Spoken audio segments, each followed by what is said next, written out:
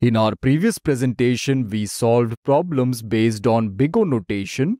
The problems we discussed were simpler ones. Now in this presentation, we will solve some more problems on big O notation, but this time the problems are going to be bit different. Let's get started and let's see what are the topics. In this lecture, we will discuss problems based on big O notation. So let's proceed. The problem number 1 is find the upper bound for fn equal to 3n plus 8. How do we find the upper bound for this function? The upper bound of the function fn will be a function, let's say gn, which is asymptotically bigger than fn, or in other words, fn is big O of gn. In the last presentation, we saw that we were available with functions fn and gn, and our job was to find whether gn is asymptotically bigger than fn or not. But this time, gn is not available to us. We need to find gn, and we are assuming that gn is the upper bound of fn. So how do we find gn?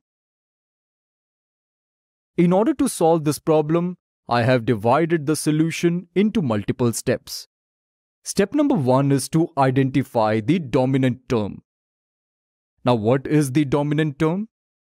Dominant term of an expression is the term which contributes most to the value of the expression as the value of n increases.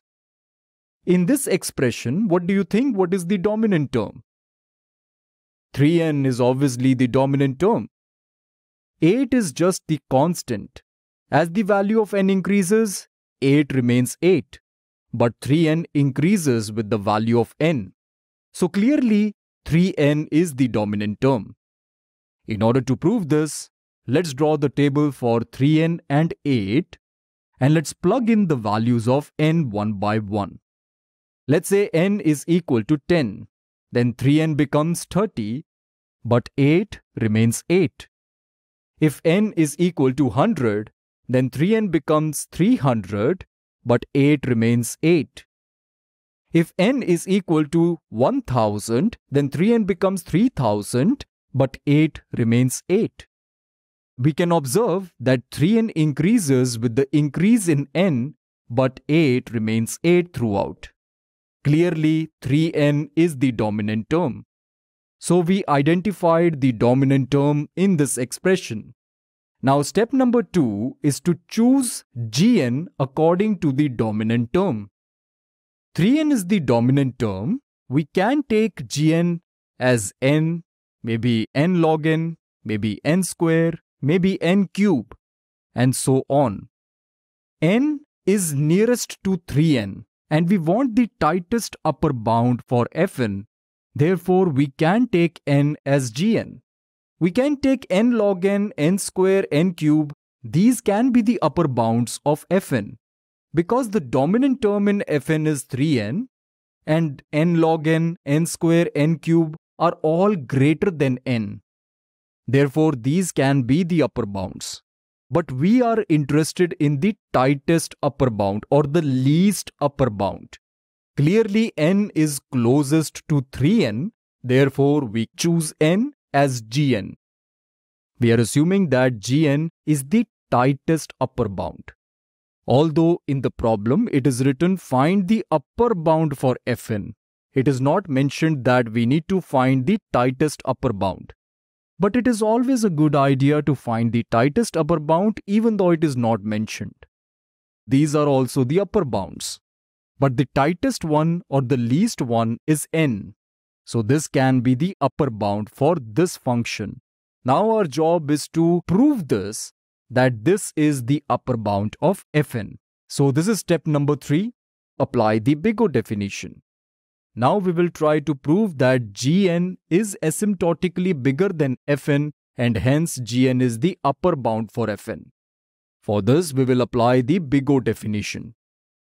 According to the definition of big O notation, Fn is equal to big O of Gn if and only if Fn is less than or equal to C dot Gn for all values of n where n is greater than or equal to n naught and c and n naught are constants. Now we need to select some value for c. We know gn is equal to n and the dominant term is 3n. Let us assume that c is equal to 4, one value greater than 3, so that this becomes 4n. Now we need to ask ourselves, is 3n plus 8 less than or equal to 4n? Let's draw the table for 3n plus 8 and 4n and let's plug in the values of n one by one. Let us assume that n is equal to 7. 3n plus 8 for n equal to 7 becomes 29 and 4n becomes 28. At this point we can observe that fn is greater than c dot gn. But we cannot come to the conclusion at this point because we took just one value of n and that value is also small. Let's take n equal to 8. 3n plus 8 becomes 32 and 4n becomes 32 because 8 into 4 is 32. At this point we can observe that fn is equal to c dot gn. What if we take n equal to 10? 3n plus 8 becomes 38 as we plug in the value of n as 10 here, but 4n becomes 40. 40 is greater than 38. This means c dot gn at this point is greater than fn. If we take n as 100, then 3n plus 8 is equal to 308 and 4n is equal to 400. 400 is much greater than 308. Clearly C dot Gn is greater than Fn. What is N naught? N naught is equal to 8 because at N naught and values greater than N naught, C dot Gn is greater than or equal to Fn. And hence we can say that Fn is equal to big O of Gn. So we can say that 3n plus 8 less than or equal to 4n is true. Therefore, 3n plus 8 is equal to big O of n because we assumed that gn is n. And this is true for c equal to 4 and n naught equal to 8. I hope with this problem it is clear how to find the upper bound for a specific function. Now let's proceed with problem number 2. Find the upper bound for fn equal to n square plus 10. We will follow the same steps to solve this problem. But before that, I want you to solve this problem on your own. So pause the video and try to solve this problem. I hope you tried solving this problem and you got the solution as well. Now, let's see my solution. Again, we are going to follow the same steps. Step number one is to identify the dominant term. Clearly, the dominant term in this expression is n square because as we increase the value of n, n square also increases, but 10 is just a constant, so it remains the same. Now let's prove this by drawing the table for n square and 10, and let's plug in the values of n one by one. Let's say n is 10, then it becomes 100, and this is just 10. If n is equal to 100, then this becomes 10,000. n square at this point is 10,000.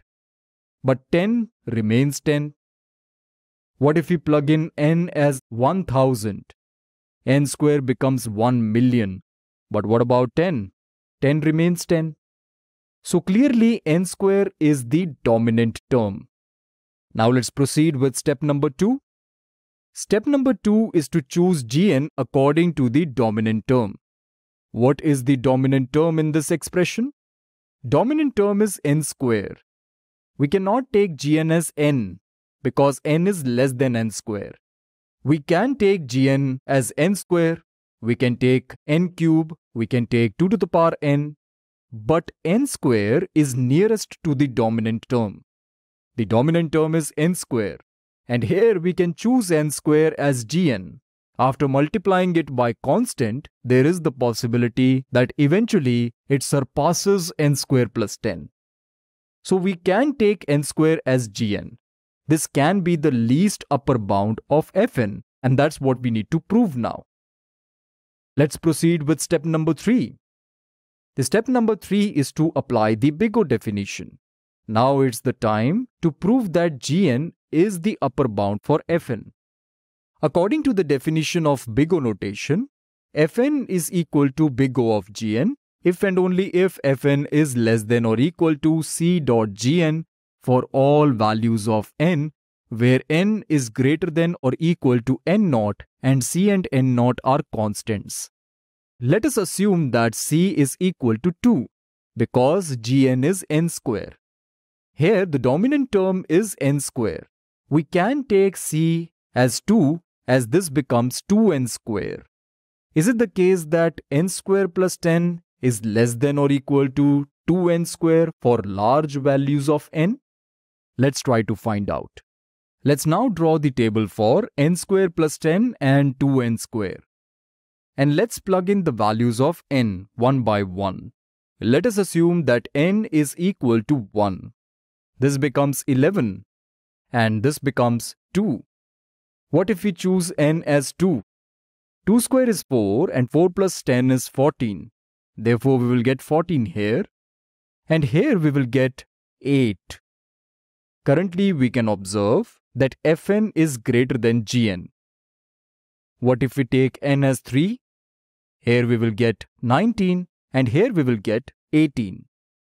19 is greater than 18. Still, Fn is bigger than C dot Gn. What if we take n as 4? If n is equal to 4, we will get 26 here in place of n square plus 10 and here we will get 32 in place of 2n square. At this point we can observe that 2n square is greater than n square plus 10. This means c dot gn is greater than n square plus 10. So we can say this that n naught is equal to 4. This means that n square plus 10 less than or equal to 2n square is true and therefore n square plus 10 is equal to big O of n square because gn is n square. And this is true for c equal to 2 and n naught equal to 4. So with this we are done with problem number 2 as well of this set and this means we are done with this lecture. Okay friends, this is it for now. Thank you for watching this presentation. I will see you in the next one.